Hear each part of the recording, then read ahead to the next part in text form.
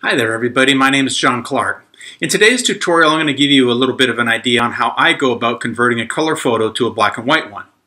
Now like a lot of you, I've used the Nik Silver Efex module to do this for quite a few years now, and frankly it was phenomenal in how it handled this.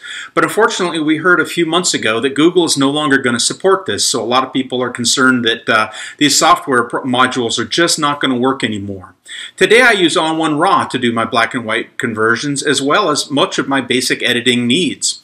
So I'm going to give you a little bit of insight into my workflow. Hopefully you'll be able to pick up a tip or two along the way. And um, here we go. Let's go edit some photos. Okay, so now you can see we've got ON1 RAW 2017 open right now, and I'm in the grid view here. You can see some of the photos that uh, we're going to show you or we're going to work with uh, today. So what I really liked here was I found a spot, it's a parking garage in Chicago. Um, if you want to look it up, it's at the corner of Lake and Wells, and it gives you this fabulous view uh, almost straight down on top of the of the uh, L train. Uh, I don't know if it's a train, if it's a subway, but it's the rapid transit system that uh, clanks around the, the city over there. So to take a better look at your photos, you can either hit the E key, uh, which stands for echo, or you can go down in the bottom corner here, and it'll give you this full view uh, of the pictures itself. Um, you can also, if you prefer to go into the film strip, uh, hit the F key uh, and go into the go into it that way. So I was able to shoot a few different photos over here. Um, actually spent a, a, fair amount of time looking at uh, the different angles. Really, there's only one angle. It's almost straight down. Um, but uh, the, the, cars come around at, at, different times on the track. The challenge, of course, is going to be um, shooting these things. You cannot set up for a tripod. And the, they have a gigantic, heavy concrete wall. And you basically have to stick your arms out through this decorative grate here, hold your camera uh, as securely as you can, wrap a, uh, something around your wrist if you have a, a wrist strap or uh, the shoulder straps, just so you make sure you don't drop it. And uh, try to hold on and point and frame as, as best you can. Now what happens though is uh, you're going to get slightly different framing for each one of these shots. And you can see that it kind of shifts around a little bit here uh, because of the way that I was holding my camera. Now, I stayed there for quite a while, but of course my time in Chicago was somewhat limited and I wanted to go to different uh, views of the city and try some different shots as well. So I never was able to get a shot of multiple L cars at the same time. However, that's an easy fix. So let's go back over here into grid view and we're going to start off working in Photoshop.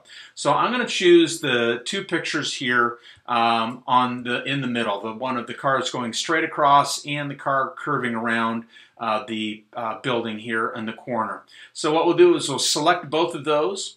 We will right click, drop down to send to Adobe Photoshop and then we have a choice at this point. We can either edit, uh, copy with the standard settings applied. Uh, if we had done anything in Develop or the effects modules or anything else, it would automatically transfer those over into Photoshop. Or you can choose to edit the original. Now, if you edit the original, you're going to end up with uh, going into Adobe Camera Raw right off of the bat or you can choose to edit a copy, in which case you'll also end up with a second copy in your folder when you're done. So pick your poison. In this case, I think I'll prefer to just to edit a copy, even though we've done nothing at this point, just because that way I, I have a better safe than sorry second copy going on. So let's hit the edit button, and this would probably be a pretty good time to uh, just take an intermission while uh, Adobe Photoshop is uh, loading up here.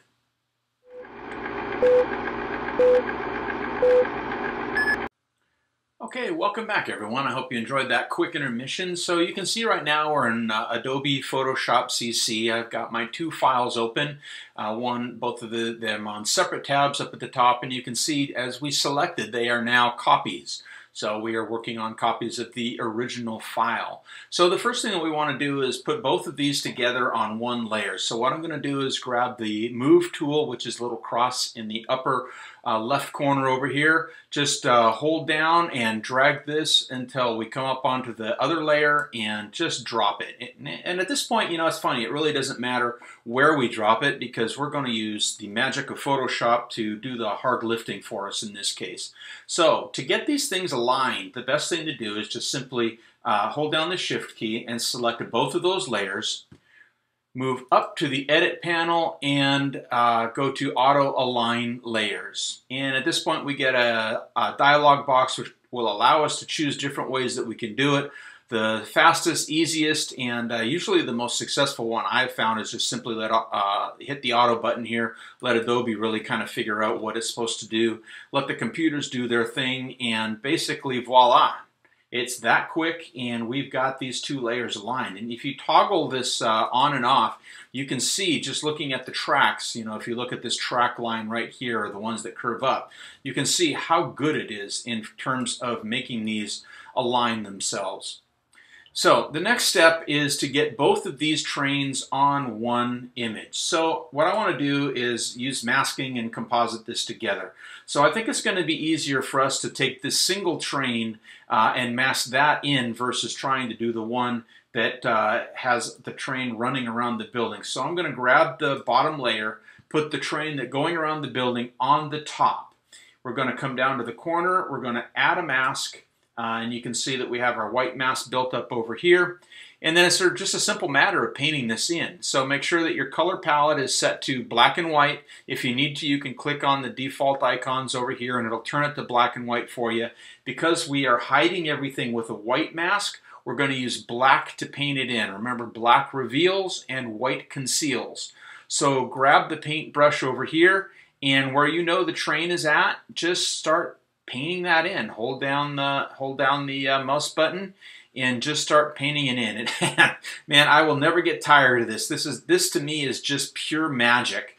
Um, just watching this thing, something like this reveal. So this is at the front of the train. We want to be a little bit more careful. Uh, we'll zoom up into 100% uh, and come down to the front of the train. And the reason why you can see here, if I start painting, I'm going to actually paint out the corner of the train over here, and I do not want that. So let me hit Command Z to undo that, and then we're just going to be real careful when we start coming up, and maybe we should uh, lower down the uh, brush just a little bit. So hit the uh, bracket keys. Uh, the right bracket key will enlarge, the left bracket key will make things a little bit smaller uh, the brush that is. So we'll just go along, we'll just make sure everything is uh, in good shape over here. We'll go along all the edges, just make sure everything is 100% the way we want it to be and uh, it's looking, looking really, really sharp.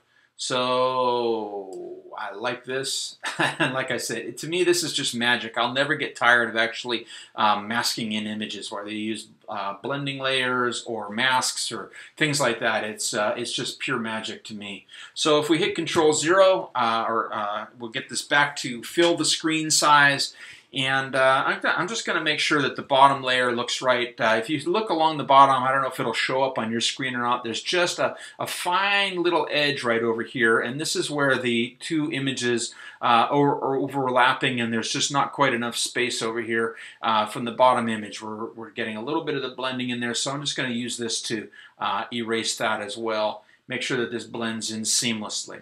Now this looks awesome. So we basically went from two single shots with, a, with one train in it. Uh, instead of waiting all day for this to happen uh, in real life, we were able to, to take a few seconds in the computer and we actually made this vision that, that we had. So at this point, what I want to do is crop this. Um, uh, there's options up here. Uh, if you hit the crop tool, which is the, uh, the kind of uh, square uh, icon over here uh, and you go to the drop down box. There's a lot of different ways that you can crop this uh, if you want to go for a square ratio or 8 by 10, 4 by 6, whatever your choice is. Uh, in this case, I'm just going to choose my original ratio. I'm going to drag these corners in just a little bit um, just to try to get rid of some of that edging where we had um, nothing uh, to fill that space. And what I want to do is try to get a little bit more of the building in uh, at the top over here uh, and shift that so we get as much of the train tracks on the bottom as we can. And I think that actually looks really nice. We'll hit uh, the check mark uh, or the enter key, both of which are going for the apply button. And then at this case, uh, we'll do a save as.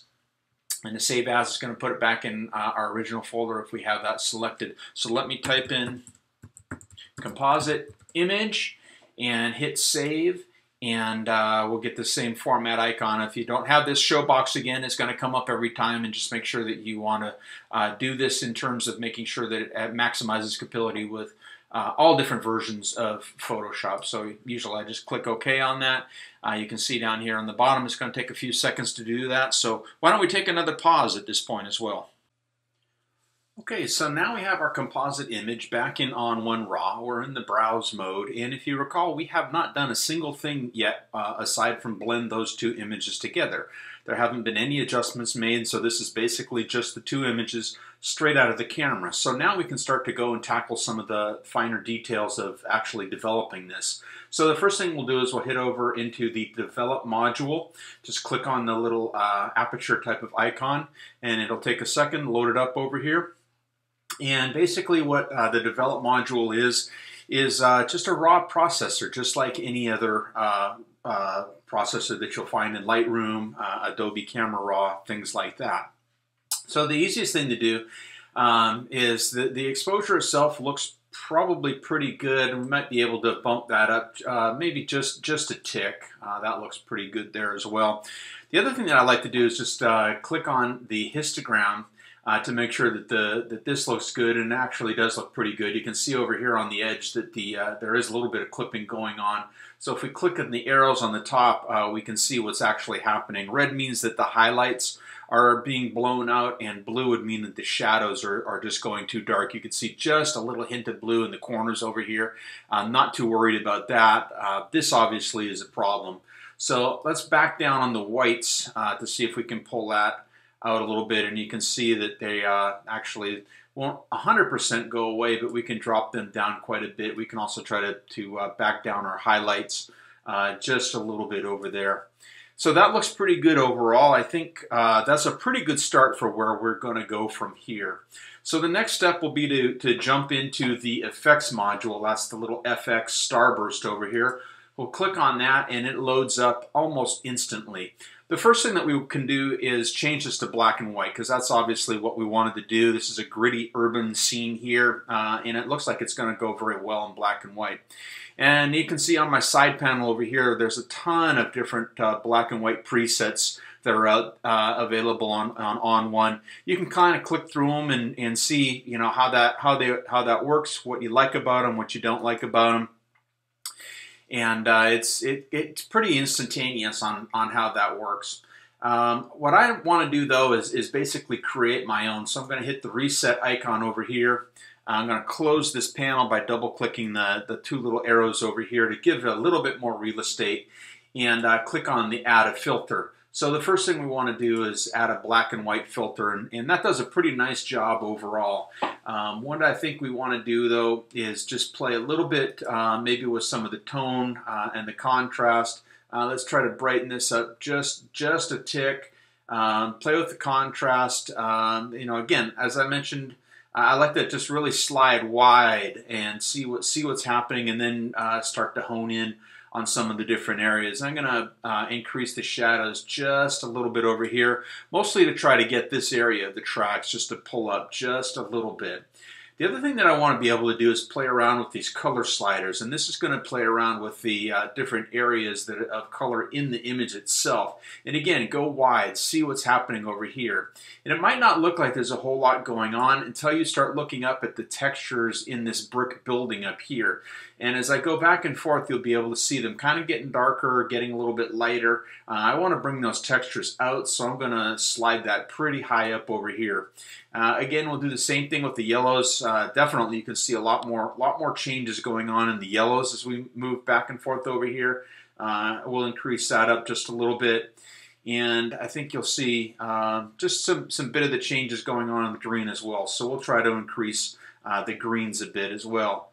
It doesn't look like there's a whole lot going on in the blues that I can see, so we'll just double click on, sorry, the aqua side there. The blues, uh, it's going to be the same thing. We'll leave the blues where they're at. And then finally, we'll just see what's happening to magentas. Not a lot going on in the magenta side either. So I think it looks like we've got a pretty good base now for our black and white. And if you want to see uh, where we came from, you click on the preview button. Uh, that's the color image. Uh, and then if you hit it again, you'll see the black and white image. Now the next filter I'm going to add on here, just click on the add filter, is going to be dynamic contrast. Dynamic contrast is a phenomenal filter here that uh, goes on almost every one of my images, but it's also one you've got to be a little bit careful of. And you can see what happens simply by clicking on and off the checkbox. And this is adding a lot of sharpening to it. But we got to be careful because it can really add too much sharpening. It's able easy to uh, kind of make things a little bit too crunchy uh, so that they don't look natural. That's not such a concern in this case, obviously, because this is a very gritty urban scene that we have going on. But I still think it's just a little bit too heavy-handed. So we're going to back that down uh, just a little bit, maybe around 75 or so. Uh, and you can see it, it makes quite a bit of difference, especially in the areas where we want it really to stand out. And that's this, this quadrant over here where the, where the tracks are at. Um, I feel like this might be just a little bit too, too heavy too with uh, some of the uh, large and medium um, sharpening areas that it's looking at over here. So uh, toggling it on and off, I think that that's actually looking pretty good now. Um, I feel like I like where that's at. Maybe we'll bump that up just a little bit, um, just to just to bring a little bit of that sharpness in there. So we've got a really good gritty urban feel going on. Finally, the last thing that I'm going to do, and uh, I, again, this goes on almost every one of my images, a vignette. So if I click on the vignette filter, we've got a few different options over here. I really like this big softy. Um, that's one, one of my favorites, um, but it does come in a little bit strong. So uh, again, adjust the brightness. You can see what happens as, as we take it off, as we bring it back in. Um, I usually end up somewhere, uh, you know, around negative 60 to 70 uh, is kind of the range that, that I'm in. And you can see uh, what's going on over here. Now, I really, though, uh, don't like how it's uh, doing an even bit all around the edge because really in my mind the main focus is kind of this quadrant over here where the trains are intersecting the tracks are kind of curving around so I want to really draw the eye over to that area so what I'll do is hit this little cross or uh, matrix icon it's like a little bullseye target if I click on that and then I can actually set the point uh, to be the center point of the vignette. And if I toggle this on and off now, you can see what, where it really leads your eyes right over to this quadrant where we want that. Uh, kind of the, the edges are a little bit darker over here. And I think that brings a bit more drama overall to, uh, the, to the program. So that's a, a, bit of an insight into how I use uh, ON1 RAW, how I can blend multiple images together to create, um, you know, a scene I would have liked to have seen in real life, but unfortunately didn't have the time to see if it played out that way, and uh, made a simple conversion in black and white to uh, to turn this into a very gritty uh, urban feel uh, for this uh, Chicago image. So if you're out there in Chicago, it's a great place to go shoot. It's a super place in the middle of the day uh, while you're looking for other things. And uh, hope you have fun. Hope you learned something, and we'll talk to you soon.